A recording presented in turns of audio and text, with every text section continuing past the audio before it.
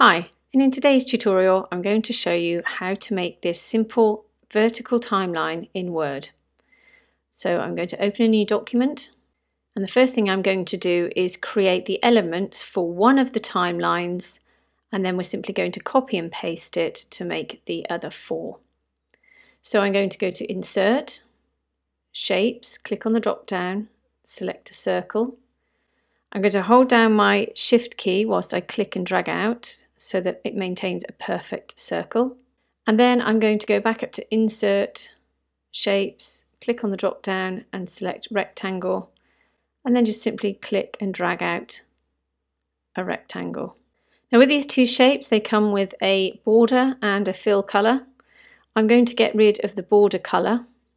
So select it, go to Shape Format, go to Shape Outline, click on the drop down and select No Outline then I'm just going to change the colour of my circle. So go to Shape Fill, click on the drop down and select a colour of your choice. And do the same with this rectangle here. Select it, go to Shape Format, go to Shape Outline and select No Outline. And then Shape Fill, because that colour is already selected, you can just click and it will change that colour. I'm going to select the rectangle and then I'm going to hold down my Command or Control key and select the circle. So I've selected them both. Then I'm going to go to Shape Format, Align, click on the drop down and select Align to Center. And then that will mean that these two shapes are perfectly aligned. I'm then going to click away, click back on my circle, and to ensure this circle is in front of this rectangle, I'm going to go to Shape Format, go along to Bring Forwards, click on the drop down, and select Bring to Front. Then when I've selected it, I'm going to ensure I'm on shape format, go all the way to the end and select format pane. This will bring up this menu here, which is incredibly useful and is used for all of your customizations. So on the bucket icon here, you've got fill and line, which is again exactly what we've done before. The fill is the color in the center, the line is the outline. If you go along to this icon here, the effects, go down to shadow, click on the drop down and I'm just going to go to presets, click on the drop down and then I'm going to select this preset here, offset bottom, to create a nice shadow. Once I've done that, I'm going to yet again select both of these holding down the command or control key. I'm just going to group them together, go to group and then align, click on the drop down and select align to center and it will place that in the center of my page. Then I'm going to go ahead and select the icon for the middle. So go to Insert, Icons, and I'm just going to type in Globe. And I'm going to select this one and click Insert. When your icons are inserted, you can't move them. So to sort that out, select it, go to Graphics Format, go to Wrap Text, click on the drop down and select in front of text. And now we can move it. I'm going to move it onto my circle. Let me just, just reduce the size of it. And I want to change this to white. So select it, go to Graphics Fill, click on the drop down and select white. Now I'm just going to zoom in because I need to make sure that this globe is in the center of this circle. So I'm going to select the group that we made earlier with the rectangle and circle, go to Shape Format, go to Group and select Ungroup.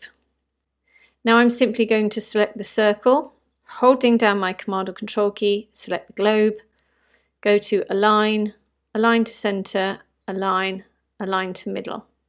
Then I'm going to group these two together and then I'm going to hold my Command or Control key down, select the rectangle, go back up to Group and select Group. And there you have that complete group.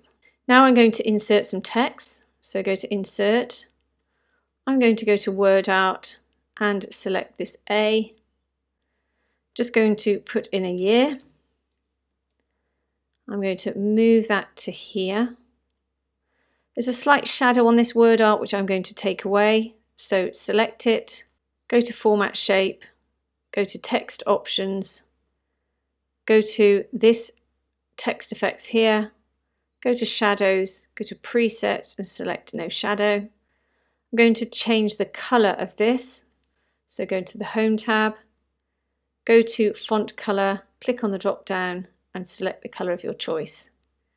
We're going to also make some text over here with the same color. So all I'm going to do is copy and paste this.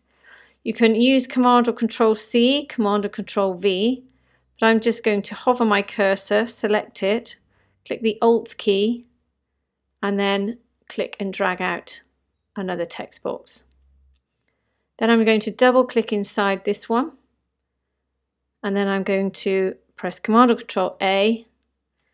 And then this is where you'll place your text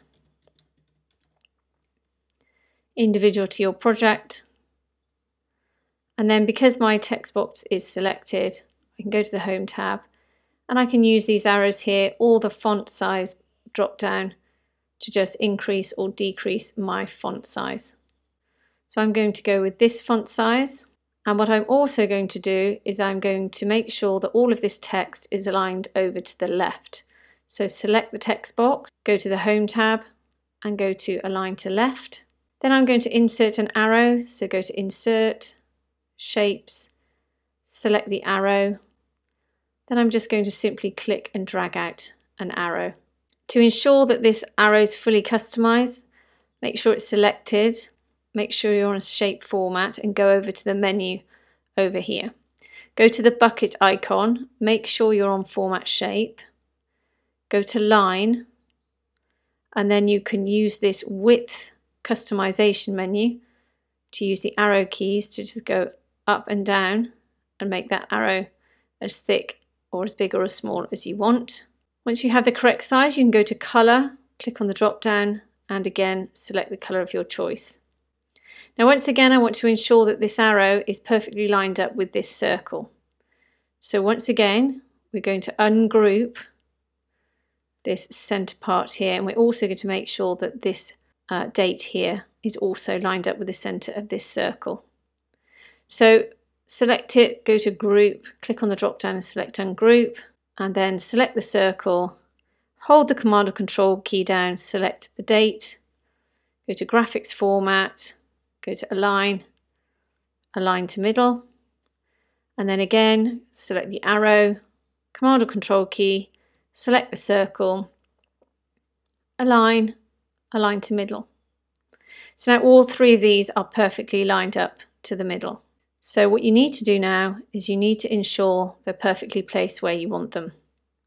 So you may want to move this left or right, just move that right a little bit. And then the text here you can move left or right according to where you want it to start. The next thing I want to do is to introduce some text. So insert, text box, click on the drop down and select draw text box. Click and drag out a text box. And in here you're going to insert your text. I'm just going to copy and paste some text in here. I'm going to reduce the size of it. Once again, make sure that this text is lined up to the left hand side. So select the text box go to the Home tab and make sure it's aligned to left. And once again, you can use your arrow keys to ensure that that text box is exactly where you want it. And as you can see, we've got a black border. And also, if I extend this out, you can see there's also a white background. So we'll get rid of both of those. So select it, go to Shape Format, go to Shape Outline, No Outline, Shape Fill, No Fill. And then if I extend it again, you can see it's completely transparent. I'm just going to move this text up a little bit. Okay, so if you zoom out, often you'll find that you can see any faults or something you don't like. Once you're happy with everything, we're going to group everything together, then copy and paste it. So select your first element, hold the Command or Control key down, and go along and simply select every element, go to Graphics Format, go to Group and select Group. Then once you've done that, all you need to do is copy and paste this. So I'm just going to hold my Alt key down, click and drag, and then click and drag out again. So I'm only going to do four here, but it's entirely up to you how many you do. I'm going to select everything by holding down my Command or Control key. I'm going to go up to the Align tool, click on the drop down, and I'm going to select distribute vertically. This will mean that everything is distributed equally when I select that element. then go to align again and select align to center and that will align everything up to the center. So once we've done that we're just going to select each element, ungroup it, change the colors and the text. So select the text here, go to the home tab, go to the font color, select the font color of your choice and again over here and just click on it. Then go to the arrow, it's going to zoom in a little bit. Go to the arrow. This time you're going to have to go over to this menu here, go to the line, color, select the color, and then we're going to have to ungroup this from the globe. So select it, go to graphics format, group, ungroup. We need to delete the globe, change this color, select it, go to shape format, shape fill, select the color of your choice and again select the rectangle and just click on the previous color and then you can go ahead and insert an icon into here. So insert icon. Let's choose phone. Select this one here. Insert. Whilst it's selected go to graphics format wrap text in front of text. Then you can move it. And then again, back up to graphics fill, click on the drop down and select white. And then just select the phone and the circle on the outside by holding down the command or control key, graphics format, align, align to center, align, align to middle, and then just go to group and select group. And then you just go ahead and do that exact routine with the next one and I'll speed up the video and come back and do any final customizations.